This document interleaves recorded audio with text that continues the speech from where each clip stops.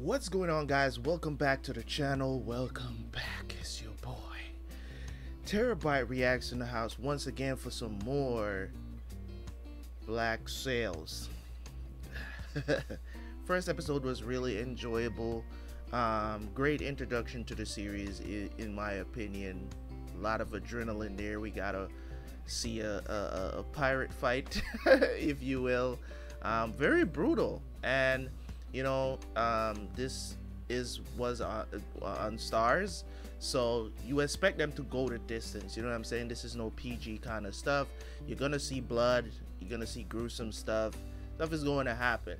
So from what i can gather from the story so far um is we have this captain flint that is is like he's on this this journey of not being left behind. You know what I'm saying? He, he's trying to protect his people, but I don't know if I agree with his methods of how he's doing this. But at the same time, you know what I mean? Like I I understand why he's doing it. Um, you know, and it seems like him and Billy is going to have that. You know, he's they, they, it's gonna be a yin and yang kind of situation where you know Billy's not gonna agree with everything he's doing but he does understand why he's doing certain things. So I'm looking forward to see that relationship in particular, if it's going to get better. The dude that actually has the page from the book. I'm not really sold on him yet. I think I think they're gonna find him out pretty quickly. He's not really that convincing of a you know seems like he can't keep the secret they have max who is trying to sell this page so we don't know you know what i mean um we just we just don't know what's really going to take place. But you know there there are people scheming in the background against the captain. You know i don't know what their what their purpose is. Um you know but i guess with only one episode how much really are you going to know? You know how much really are you going to find out from just watching one episode? So let's go jump in and watch the second episode guys.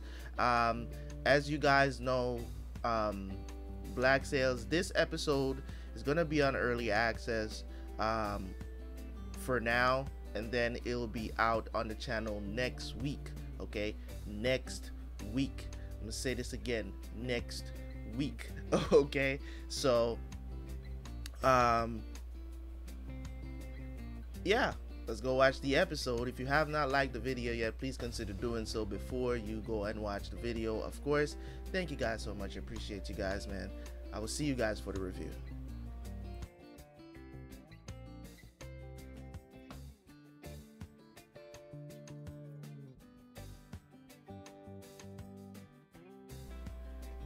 Alright, so that was a beautiful second episode, if I should say so myself it was good. It was good. It was done well. Didn't have any issues with anything that they said. Or what am I talking about? Uh, sometimes I get so frazzled when I do my reviews because I do them directly after I finish watching the episode. but any case, guys, um, we get a better understanding of what Flint Flint wants in this episode. We definitely got a better understanding of what he wants what he sees for the future. So they he wants to set up on Nassau, right? He wants to set up there, um, which I think Nassau is in in the Bahamas. I think that's where they are. If I'm not if I'm not right, I'm pretty sure Nassau is in the, is in the Bahamas.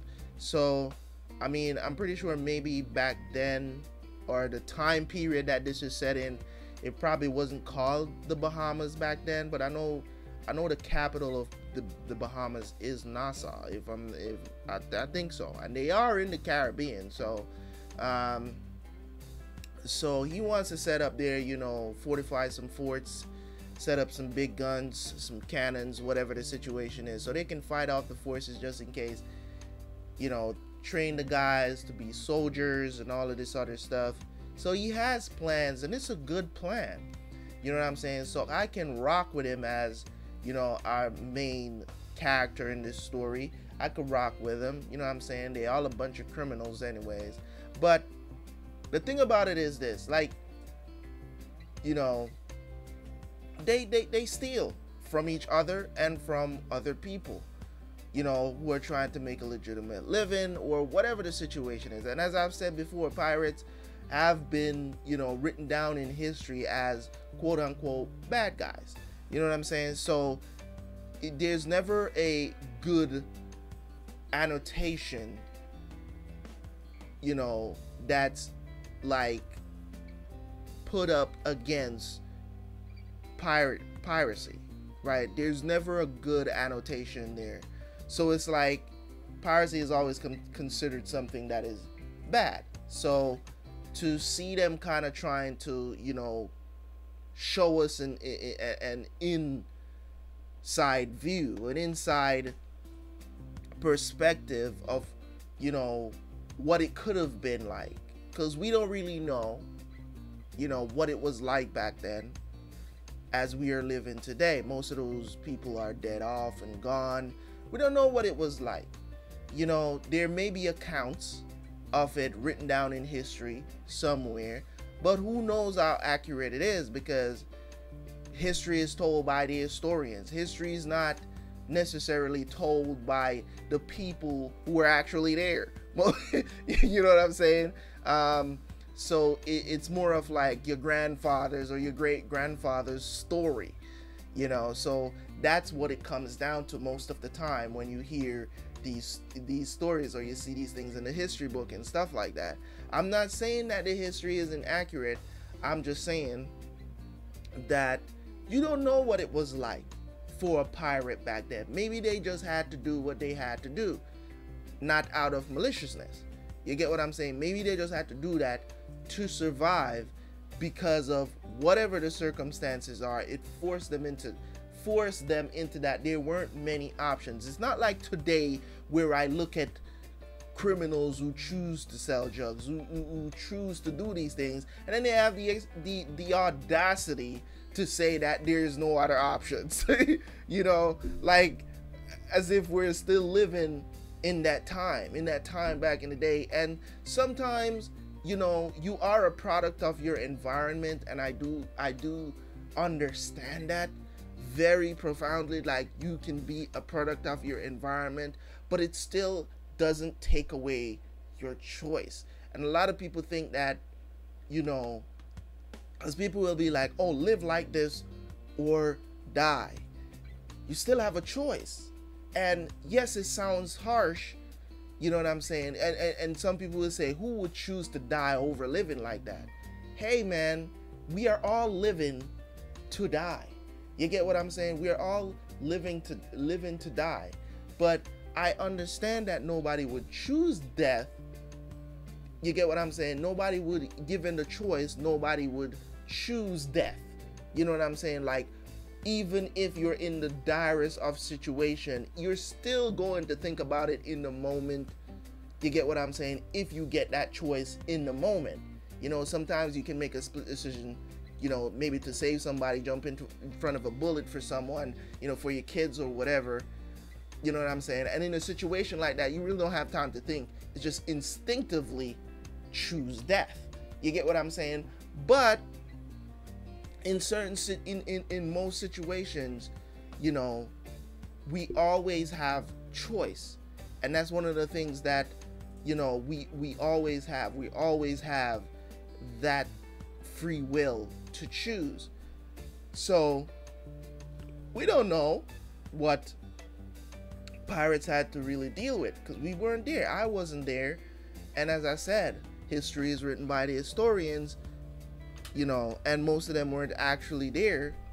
You know, it's just stories a lot of times, and this is giving me, you know, a, a, a different perspective of what it could have been like. Not necessarily what it was, but it could have been. So, um, as I said, I'm not classifying anybody here to be the good guy. It's it's it's a you know, like I'm watching Sons of Anarchy right now. Like I'm rooting for the Motor Club but I still say they're a bunch of criminals because that is just what it is. They're just a bunch of criminals, but because they're the main protagonists in the story, you got to choose a side.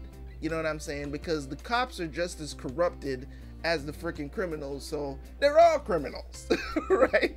But in any case, guys, appreciate you guys for tuning in as always, man. I'm looking forward to seeing what Black Sails is going to do. Um, again, I'm enjoying it. Two episodes in, and I want to see more and more and more. The situation that went down with Max and Eleanor, you saw my opinion of it. I felt like Max felt some sort of way um, about Eleanor that was not reciprocated, and she was blind to see that. For me, the nail in the coffin and why I said that Eleanor didn't really have real feelings for her is because she was still paying for to see Max. You get what I'm saying? Like she shouldn't have to do that. She's a big dog on the island. She can say to what's his name Noonan, right? She could say to Noonan, "Hey, Max is mine now. You know what I'm saying? I don't want her whoring no more. You know what I'm saying? I'm not paying for her no more. Let her come live with me and we good. But that didn't happen. You get what I'm saying? Like she has that kind of respect on the island. I believe that she could have done that, but she never did that. Because guess what? Max was just was just something on the side. Well, not necessarily on the side. She wasn't the main chick or the side chick. She was just a chick. You know what I'm saying? So she Eleanor didn't feel the same way about her she probably thought that, you know what I'm saying, you was just, you know what I'm saying, you was just the, the one she was hitting at that time. I, that's just how I feel about that situation. It was never love. I don't know some people's gonna be like, oh boo hoo. Nah. And and this happens all the time. You know what I'm saying? Whether it's women or men. You know what I'm saying? It happens all the time where you think something is where it's not is when the clues are like knocking you in the face and you not seeing that this person is really don't feel the same way as you do and it happens all the time. But in any case guys appreciate you guys for tuning in. As always man make sure you hit that like button. Make sure you comment on this video. And of course as always man it's your boy terabyt reacts. And i will catch you guys later man. Peace